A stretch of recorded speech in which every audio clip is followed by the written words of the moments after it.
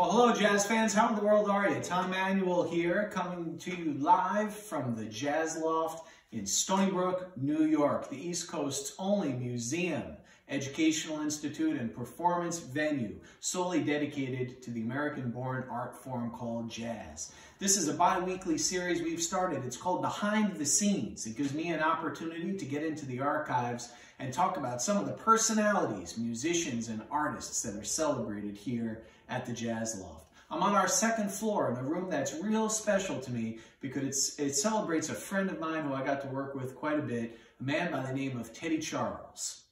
Ted came from Chicopee Falls, Massachusetts. He moved to New York, attended Juilliard, where he was a percussionist. He dropped out, sadly, at the very end, but was a mainstay on 52nd Street, kind of honing his chops. Got a few big breaks with the big bands, with some of the likes of Chubby Jackson, Artie Shaw, and Benny Goodman, and then found himself collaborating with the great, great piano player and bebop artist, piano player Lennie Tristano. Ted soon found himself in the midst of a lot of those up-and-coming artists that were making a name for themselves. People like Charles Mingus, Buddy DeFranco, Miles Davis, John Coltrane, and others. He was a very gifted and skilled composer and arranger, as well as a performer on the vibraphone, which made him very marketable. He began working not only for himself with his own group, which was a trio at the beginning that would grow to be a tentet and an even larger ensemble, and found himself producing albums like the tune you were just listening to, Dakar. That was an album that Ted produced for John Coltrane. It was an album that took on that title track name, and Ted actually wrote that composition, Dakar, a manuscript that is on display in the Teddy Charles archives here at the Jazz Loft. This is actually John Coltrane's part with his markings and notes written on it. You know, Ted was an interesting figure in that he had this more than a triple threat ability, the ability to perform as an incredibly skilled improviser on the same level of all the greats in the 50s, but also to arrange, to compose, and produce. He was most notably a part of Atlantic record label and Columbia. And it was Columbia that sent him to Detroit when they opened up a new branch of their recording arm. They gave him two young up and coming people as projects. And Ted reflected that he felt it was a disaster. He quit, in fact. And I asked him once, I said, well, gee, what was it that you didn't like? And he said, well, they were trying to copy that Motown sound. And I did the one project. And then after that, I quit before the second. And I said, well, what was the project you did? It was Aretha Franklin's first album for Columbia Records. You could hear him on it and he produced the whole thing.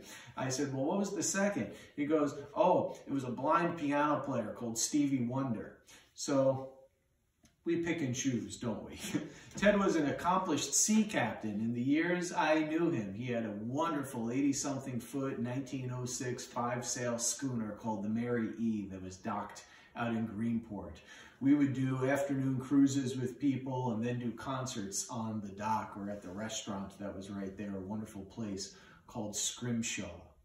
If you come to the Jazz Loft, you can see Ted's music, photographs on display, but most importantly, you'll see his 1939 Deagan vibraphone. This is the instrument that Ted played exclusively his entire life. It appeared on every recording he did and accompanied him all throughout the world through all the festivals and performances he ventured out on.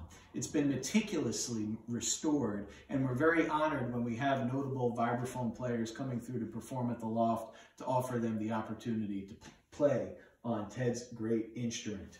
We have also on display a lot of awards that Ted won throughout the years. We have his New Star Jazz Critics Poll Award from 1954 from Downbeat Magazine, as well as a slew of others. Just a few things that are on display as part of the Teddy Charles archives here at the Jazz Loft, and we hope that you'll get down here to see them in person sometime soon.